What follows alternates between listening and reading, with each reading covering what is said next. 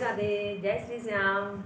आज मैं आप लोगों को माता रानी का एक भजन सुनाने जा रही हूँ। अगर पसंद आए तो मेरे चैनल को लाइक करिएगा, सब्सक्राइब करिएगा और कमेंट करके ज़रूर बताइएगा।